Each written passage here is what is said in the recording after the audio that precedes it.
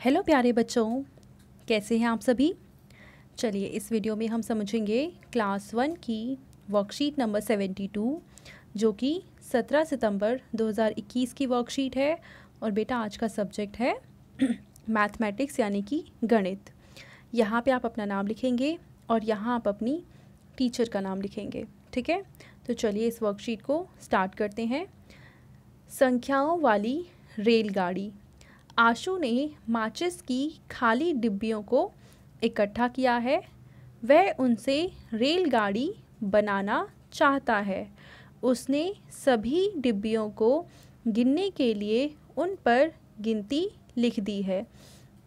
जब वह रेलगाड़ी बनाने लगा तो डिब्बियाँ उलट पुलट हो गईं। चलिए, रेलगाड़ी के डिब्बे सही संख्या के अनुसार लगाने में आशु की मदद कीजिए। तो देखो आशु ने क्या किया? माचिस के बहुत सारे डिब्बे इकट्ठा किए और खाली डिब्बे इकट्ठा किए और उन खाली डिब्बों पे कुछ नंबर लिख दिए। पर जब वो रेलगाड़ी बनाने लग गया इन डिब्बों से तो वो सारे नंबर उलट पुलट हो गए, डिब्बियाँ उलट पुलट हो गई। तो उसने क्या किया कि इनसे रेलगाड़ी तो बना दी, पर अब हमें आशु की मदद करनी है उन डिब्बों में नंबर को सही तरीके से लगाने में, ठीक है? देखो, पहला प्रश्न है, नीचे दी गई रेलगाड़ी में इंजन के साथ वाले डिब्बे पर लिखी संख्या के बाद कौन सी संख्या वाला डिब्बा आएगा? देखो, रेलगाड़ी में सबसे आगे होता है इंजन, उसके बाद डिब्बा ये है और उसके बाद ये है। तो पहले वाले डिब्बे पे नंबर हमें दे रखा है, उसके बाद वाले डिब्बे पे क्या नंबर आएगा, ये हमें बताना है। खाली डिब्बे में संख्या लिखिए और अपनी कॉपी में भी संख्या वाली रेलगाड़ी बनाइए। तो हमें क्या करना है? सबसे पहले हम देखेंगे, क्योंकि यहाँ पे देखो, कौन सा नंबर है ये?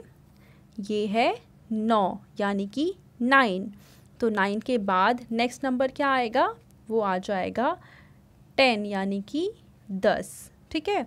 अगली जो रेलगाड़ी है, उसमें पहले डिब्बे पे नंबर कितना लिखा है?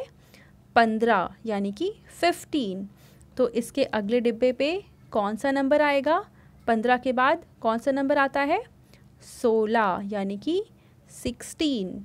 ठीक है? अब यहाँ पे देखो क्या नंबर है? दस है, यानी कि टेन है। तो इसके बाद नेक्स्ट नंबर कौन सा आएगा? ग्यारह, यानी कि एलेवन ठीक है? और यहाँ पे है एटीन, अठारह। तो इसके बाद नेक्स्ट नंबर क्या आएगा? उन्नीस, यानी कि नाइनटीन। तो यहाँ पे आ गया दस, यहाँ पे आ गया सोलह, यहाँ पे आ गया ग्यारह और यहाँ पे आ गया उन्नीस। और अगर इसको इंग्लिश इंग्लिश में बोलें तो ten, sixteen eleven and nineteen. तो पहला प्रश्न हमने हल कर लिया सही संख्याओं को इन बॉक्स में लिख लिया है। अब हम देखते हैं दूसरा प्रश्न। अब देखो इसमें क्या कहा है कि जो ये इंजन है इसका जो पहला वाला, यानी इंजन के जस्ट बाद में जो डिब्बा है, उसकी संख्याएँ अब यहाँ पे नहीं लिखी हैं। उसके बाद वाली संख्याएँ लिखी हुई हैं। तो हमें क्या करना है? ये बताना है कि अगर यहाँ पे सात नंबर, यानी सेवन है तो उसके एक पहले कौन सा नंबर आना चाहिए? तो देखो, सात, यानी सेवन के पहले कौन सा नंबर आता है?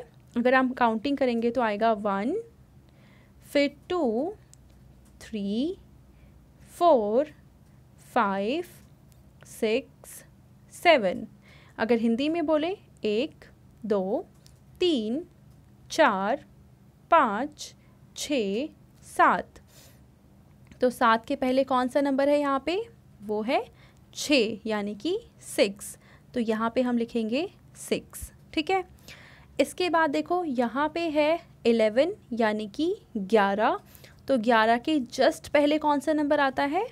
वो आता है दस, यानी कि टेन, ठीक है?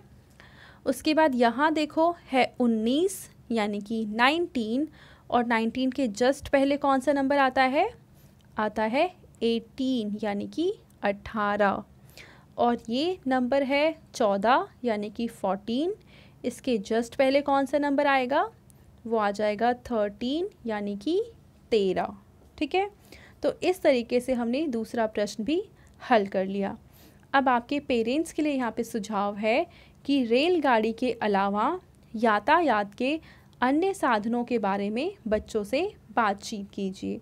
तो देखिए, रेलगाड़ी के बारे में तो हमने यहाँ पे पढ़ लिया है। इसके अलावा आप दूसरी गाड़ियों के बारे में बच्चों से बातचीत करेंगे, उनके बारे में बच्चों को बताएँगे। तो बेटा, ये थी हमारी आज की मैथ्स की वर्कशीट आई होप आपको ये वर्कशीट बहुत अच्छे से क्लियर हो चुकी होगी। एंड अगर आपको ये वीडियो पसंद आई है तो इसको लाइक करें, अपने फ्रेंड्स के साथ शेयर करें और इस चैनल को सब्सक्राइब कर लें। Thank you